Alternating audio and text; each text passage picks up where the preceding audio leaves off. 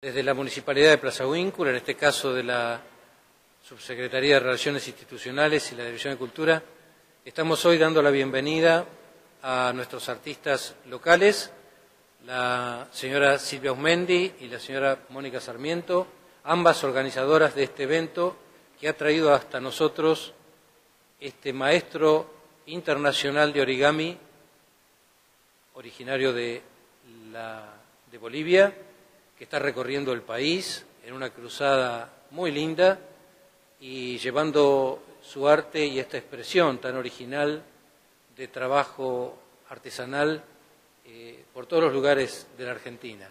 Así que tenemos el orgullo de recibirlo aquí en Plaza Vínculo y darle la bienvenida, dado que se va a realizar un taller en el Zoom de la Escuela 133 de la ciudad de Plaza Vínculo, que aprovecho la oportunidad para agradecer a la directora Gabriela Leda por su amabilidad de cedernos el espacio y por ser un lugar de convocatoria pública donde va a trabajar con alumnos y donde a partir de las 18 hasta las 21.30, el día 12 de junio, próximo jueves, se va a hacer un taller de origami abierto a todo público en forma libre y gratis. Destacar que las artistas que nos acompañan locales, Mónica y Silvia, han estado eh, este último fin de semana en la Expo Bariloche, donde han cosechado importantísimos premios. De hecho, Silvia Osmendi cosechó el primer premio en su trabajo eh, de la carroza Hadas, Sueños de Hadas. Así que los voy a dejar en compañía del maestro Nicolás, del maestro Origame. Bienvenido, Nicolás, a Plaza Winkle, en nombre del gobierno de la ciudad de Plaza Winkle. Muchas gracias. Nicolás, contanos eh, cómo es tu trabajo, cómo empezaste a trabajar con el origami. Bueno, eh, soy orimista Nico, justamente estoy acá gracias justamente a esta empresa que es Papeles Argentino, eh, Cartulinas Pingüino. Y bueno, yo vengo desde, desde Bolivia, bueno, ya hace como maestro de origami hace 21 años. He vivido en, en el Japón, he estado por China y, y, Corea.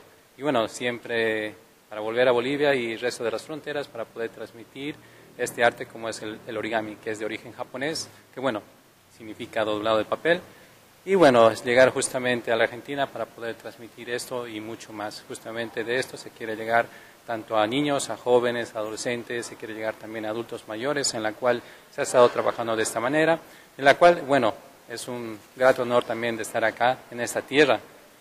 Justamente también hay que agradecer también al director de Culturas, bueno, por dar esa apertura y bueno, llegar a justamente a los rincones justamente de, esta tierra. Y bueno, vamos a, seguir con eso y también a agradecer también aquí a, Silvia que ha otorgado también la, la, invitación y bueno, vamos a seguir y haciendo muchas cosas de crecer y de transmitir también, en la cual eh, tenemos ahí proyectado para poder hacer algunas cosas en tema de lo que viene a ser el tema de la cultura, el tema de lo que es la educación. Así que bueno, estaremos esto pausadamente dándoles mayor información. Vamos a hablar con una de las personas, con las chicas que lo han traído, para que comentes bien, para que la gente sepa el taller, qué día, qué horario y qué es lo que tienen que llevar de material. Eh, bueno, eh, ¿qué tal? Buenos días. Eh, bueno, el taller eh, va a ser realizado en la Escuela 133 el día jueves 12 de las 10. Va a ser libre para los niños en la escuela de las 10 hasta las 11 y en la tarde de las 16 hasta las 17. Y después va a ser libre para toda la familia de 18 a 21.30. Eh, bueno, lo que tiene que traer, eh, nada, eh, solamente la presencia y bueno, y ganas de disfrutar de, de, ese momento que va a ser muy grato y algo familiar. ¿Tienen que escribirse en algún lado? No, directamente llegar a la escuela. No, directamente es llegar a la escuela y bueno, y presenciarse ahí, en el, en el lugar de la escuela, en ese horario, o sea, vendría a ser a las 18, antes de las 18 obviamente. Pero no, no, o sea, na, nada más, la presencia de ellos y, eso es lo únicamente que se van a necesitar.